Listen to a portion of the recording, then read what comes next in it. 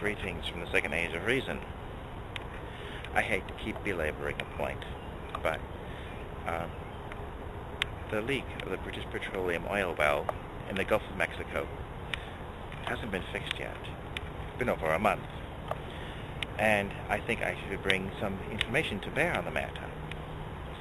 Some say it's a British Petroleum problem.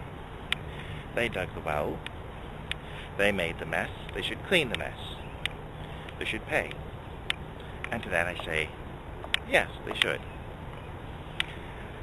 Some say it's President Obama's Katrina. To which I say, well, Katrina was a natural disaster. This one is man-made. On the other hand, though, the oil is now encroaching on our shores. Now that it's touched our land, it's an American problem. And yes, it is under President Obama's jurisdiction, and he needs to start thinking about what he's going to do about it. So that would make it an American government issue. Some would say it's the American people. I mean, it's their oil, but their thirst for oil that always wants to have more and more of it. So it's their problem. And that's true too, but that's not fixing the problem. They need to, we need to think of it as that we own the problem because it's coming at us. I mean, it's down there now. It's summertime. The winds are from the south. There's more to the oil than just the slime on the top. There's gases too, methane, benzene, and other things, making people sick. Eventually, they'll have to begin evacuating the Gulf coasts as the Gulf fills up from this leak, which is more of a petroleum volcano.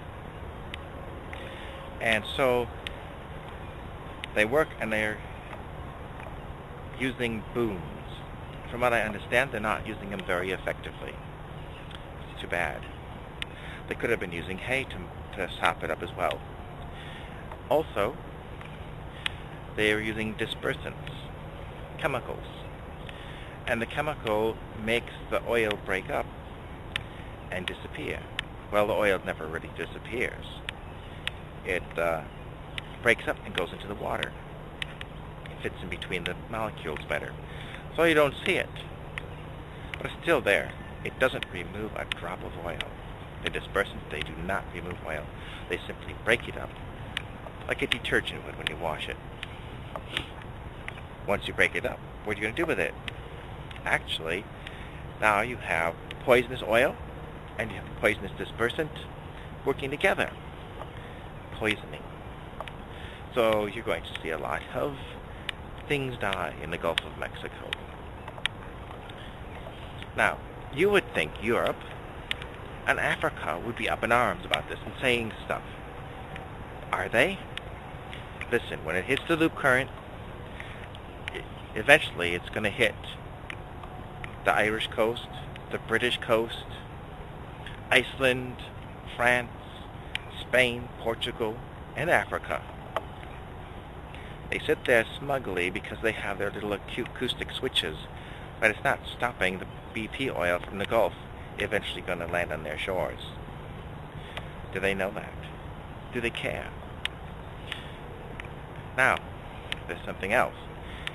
That's making it into an American-European problem, but it's a world problem too. As that oil and poisons are in the ocean poisoning things, let's paint the scenario.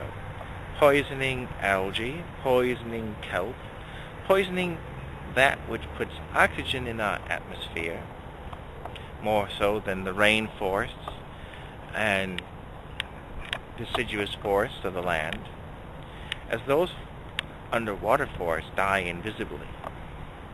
That's going to cut into our oxygen. Did you think about that? That makes it a humanity problem. That makes it an air-breathing creature problem for the whole planet.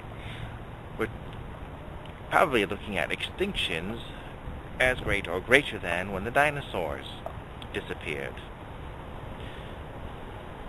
Who's going to fix it? Hopefully, we'll start fixing it soon because at some point the environment in the Gulf will become uninhabitable for humans.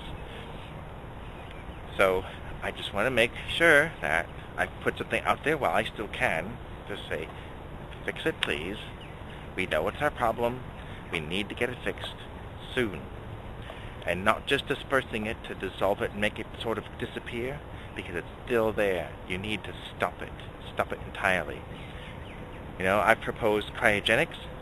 I can propose a giant screw thing that would go into the pipe, twisting in there and eventually sealing it. But I don't know what you have available.